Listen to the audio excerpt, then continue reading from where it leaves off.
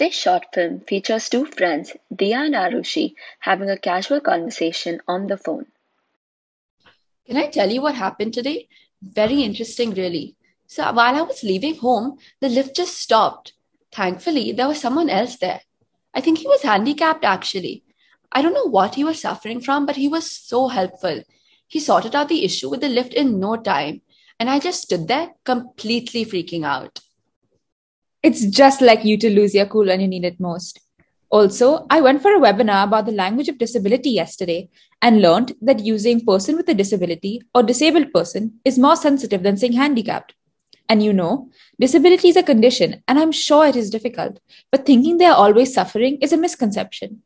Anyways, I thought you went for a movie yesterday. How was it? The movie was great. I really enjoyed it. And I'm so glad you pointed out my mistake. I'll definitely keep this in mind going forward.